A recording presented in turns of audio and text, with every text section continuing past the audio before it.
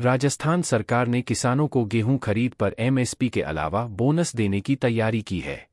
इसे किसानों के दिल्लो चलो मार्च से जोड़कर देखा जा रहा है। क्योंकि, बीते दिन केंद्र सरकार ने एमएसपी दरों पर गेहूँ खरीद समय से पहले करने को कहा है। हालाँकि, राजस्थान सरकार को मुफ़्त राशन योजना के तहत राज्य के लाभार्थियों को वितरण करना है और इसके लिए भी सरकार गेहूँ खरीद की तैयारी कर रही है। जबकि चुनाव वादों में किसानों को गेहूँ खरीद पर बोनस देने का ऐलान किया गया था।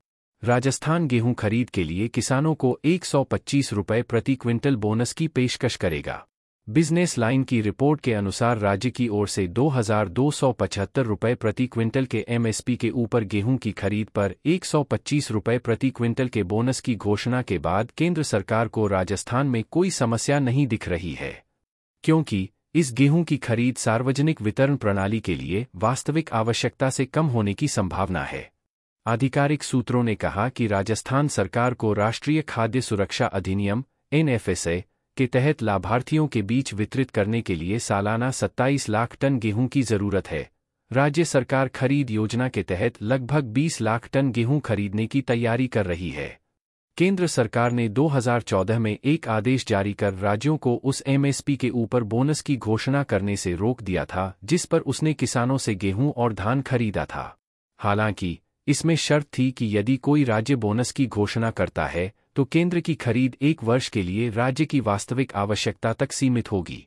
केंद्र ने कम उत्पादन और फ़सल क्षति के कारण 2022 से 23 में राजस्थान से केवल शून्य दशमलव एक लाख टन गेहूँ खरीदा था जिसे 2023 से 24 में बढ़ाकर 4.38 लाख टन कर दिया।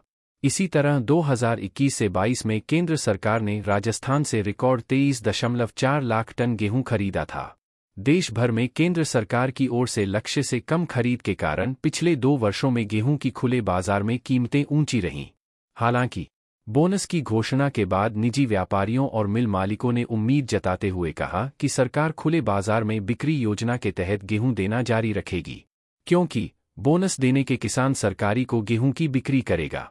यदि अन्य राज्यों में खुले बाज़ार की दरें एमएसपी के आसपास होती हैं तो उनके लिए सरकारी दर से मेल खाने की सहूलियत होगी। ट्रेडर्स ने कहा कि हम यह देखने के लिए इंतज़ार करेंगे कि इस साल बाज़ार दरें कैसी रहेंगी। इस साल अच्छी फ़सल की उम्मीद है जिससे कीमतें नीचे ही रहने का अनुमान है। लेकिन अगर उपज में गिरावट होती है तो गेहूँ की कीमत 2,400 रुपए प्रति क्विंटल से ऊपर भी जा सकती है। सरकारी खरीद बंद होने पर बाज़ार मूल्य सामान्य स्तर पर आने की संभावना जताई जा रही है और व्यापारी उस समय फैसला करेंगे। Bureau report market times TV.